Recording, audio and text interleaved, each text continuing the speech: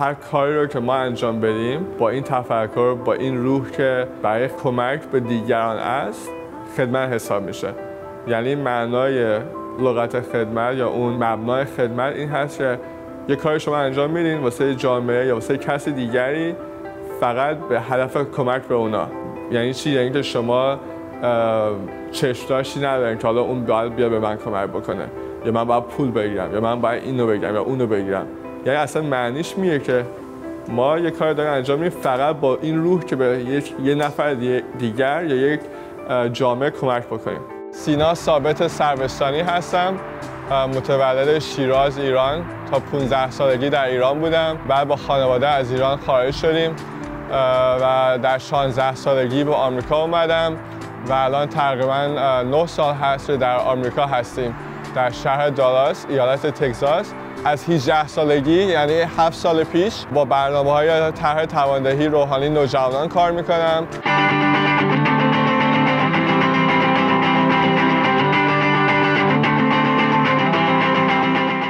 این هدف دوگانه. وقتی ما به عنوان یک انسان یک شخصی که روح داره وقتی ما خدمت بکنیم یا هر کاری که انجام بدیم این باعث میشه ما هم بتونیم به عنوان یک شخص به رشد برسیم پیشرفت بکنیم پیشرفت روحانی بکنیم به بلوغ برسیم و همین که اون خدمت همزمان کمک می‌کنه به اصلاح جامعه به بهتر شدن جامعه.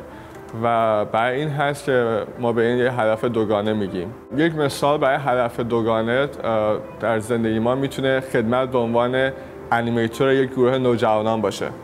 وقتی شما انیمیت می‌کنید یک گروه نوجوانان رو یک یکی اینکه باعث بهتر شدن خود شما میشه. چون مثلا, مثلا وقتی من به عنوان یک انیمیتور با یک گروه نوجوانان دارم کار می‌کنم بیشتر حواسم هست که دروغ نگم. اگر دارم به اونا میگم که ما بر راستگو باشیم و خودم به عنوان یه الگو مواظب باشم که همیشه راستگو باشم. یا اگر ما در مورد حس عدالت خواهی صحبت می‌کنیم که ما باید با انصاف باشیم و عدل رو رعایت کنیم.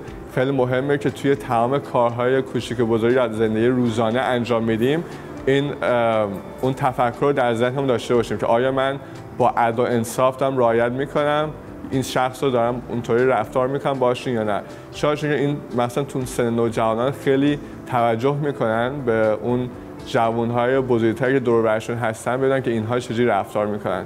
و همین این خیلی کمک می‌کنه که شما با عنوان یک شخص اون تعالیمی رو که دارید صحبت می‌کنید با این نوجوانا خودتون هم روی اینها کار بکنید که پیشرفت بکنید اونها رو بهتر یاد بگیرید.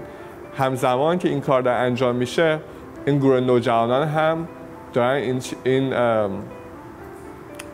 این مطالب رو این یادگیری ها رو تمرین می‌کنن.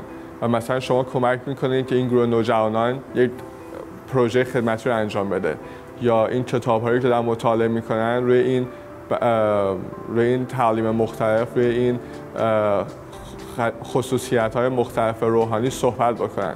و همزمان این اتفاق داره میفته که شما هم خودتون دارین یک انسان بهتر میشین هم به یک گروه نوجوانان دارین کمک می‌کنن که اونها هم بهتر بشن و به بهبود جامعه و محله که توی زندگی می‌کنن هم کمک بکنن.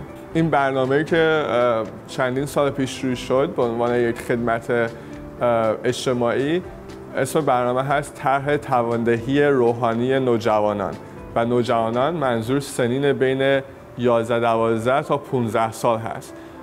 چون این سنینی هست که یک انسان دیگر کودک نیست و وارد سن بلوغ میشه و 15 سالگی هم سنی هست که شما وارد شما سن بلوغ رو شروع می‌کنید. و اون, اون سه سالی که بین این دوتا هست کودکی و سن بلوغ اون سه سال خیلی سنین مهمی است که اینها می‌تونه آینده یک فرد و که یک فرد چه شخصیتی پیدا خواهد کرد چه رفتارهایی رو خواهد داشت چه رو خواهد داشت اون سه سال اینو تا حد زیادی دیکته می‌کنه. و همین تو سه سال خیلی مهمه که یک شخص یک تربیت و تواندهی روحانی رو بگیره که این قدرت رو پیدا بکنه که بتونه تصمیم گیری بکنه برای خودش بتونه قدرت انتخاب داشته باشه. و بتونه بین خوب و بد رو انتخاب بکنه.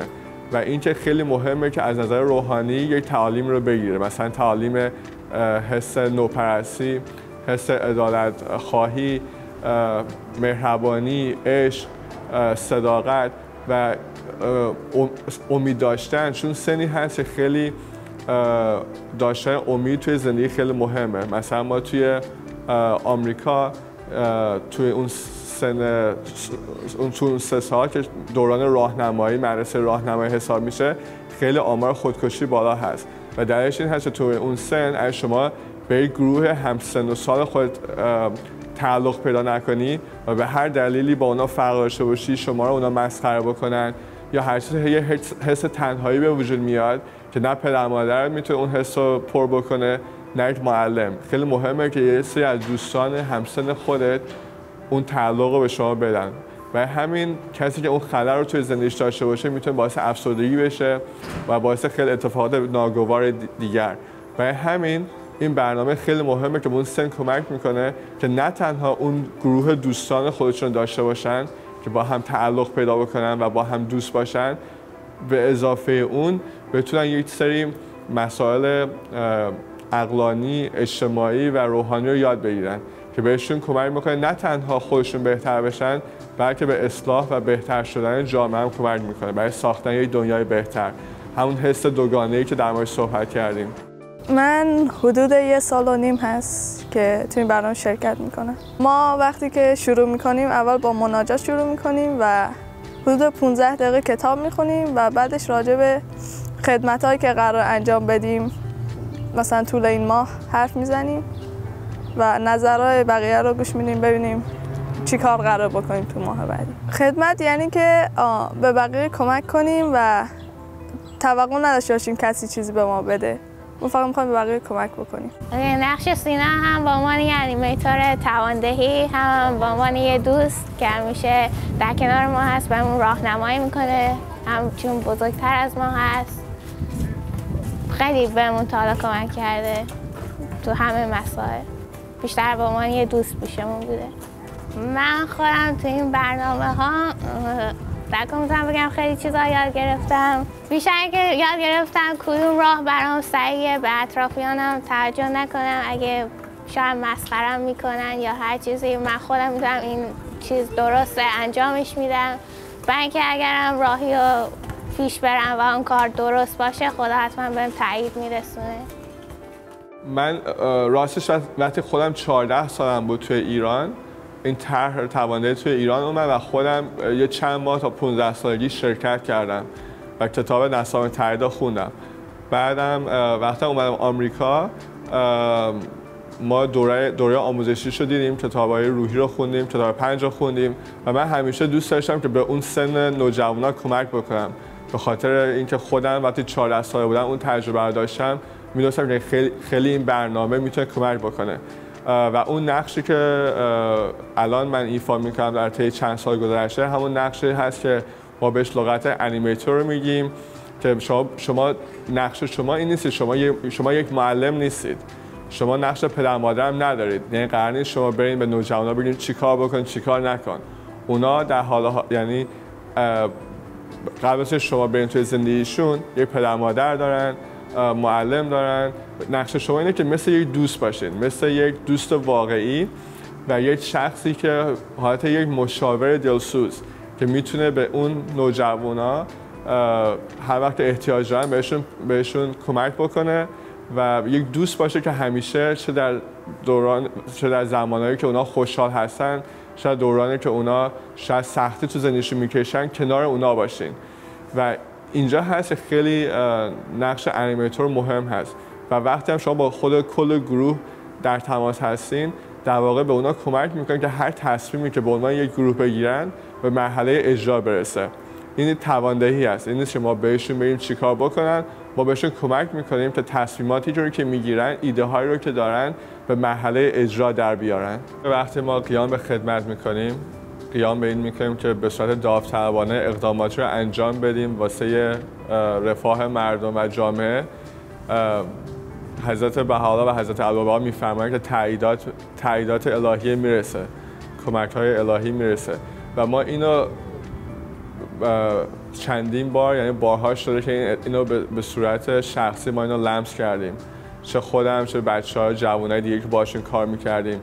اگه بخوام براتون یه مثال بزنم ما همین محله که الان چند تا گروه نوجوانان اونجا داریم هلوش پنج سال پیش برای اولین بار ما رفتیم اونجا و خیلی کس رو نمیشناختیم اونجا. گفتیم که اوکی بریم با دو تا جوونا بودیم گفتیم بریم یه خورده قدم بزنیم بریم چی میشه بریم مثلا کسی هست اینجا نیست. و همینطور که راه می‌رفتیم شروع کردیم با دو سه نفر صحبت کردیم بپرسیم آیا اینجا نوجوانی هست نیست. این برنامه هست که ما داریم که می‌خوایم اینجا ما این برنامه رو به اجرا در بیاریم. و هر کسی کمکی کرد همینطوری یعنی در واقع میشه تعداد داشت می‌رسید. ما از این ور خیابون رفتیم اون ور کوچه. تا اینکه ما به چند تا بچه کوچیک‌تر رسیدیم. با اینا صحبت کردیم و یه دختره بود اینجوری کرد. گفت که من خودم راستش دوازده سالم هنوز نیست. ده سالم بیشتر نیست. اما می‌تونم بهتون کمک بکنم که یه گروه رو شما پیدا بکنید. و ما هم گفتیم باشه چرا که نه.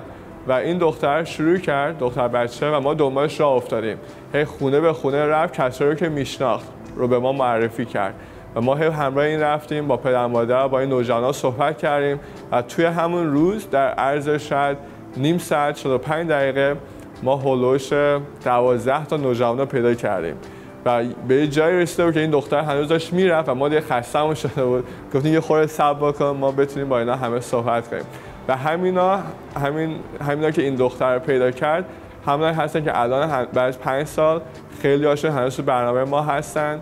با چند تاشون شما فکر می‌کنم امروز دیدینشون و سه چهار تاشون الان جوون شدن و خودشون خدمت می‌کنن و این خودش نشون میده که وقتی شما قیام بکنید یک قدم رو بردارید خدا به شما کمک می‌کنه.